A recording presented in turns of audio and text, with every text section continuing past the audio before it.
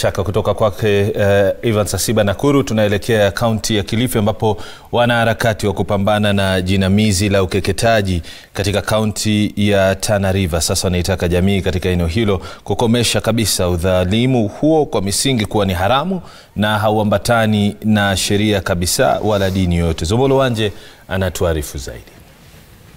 Ni katika kaunti ya Tana River hapa mjini Hola ambapo wakereketwa kupambana na ukeketaji katika eneo hili wanasisitiza haja ya jamii katika eneo hili kuhakikisha kwamba inakomesha kabisa ukeketaji katika maeneo haya. Wallahi, nimefurahi sana mpaka nimeanza kulia machozi, kwa sababu zamani nikiongea wanasema Saadia anataka kuharibu wasichana yetu, lakini Sheikh amewaambia ukiharibu mwili ya msichana unafaa kulipa ngamia ngapi?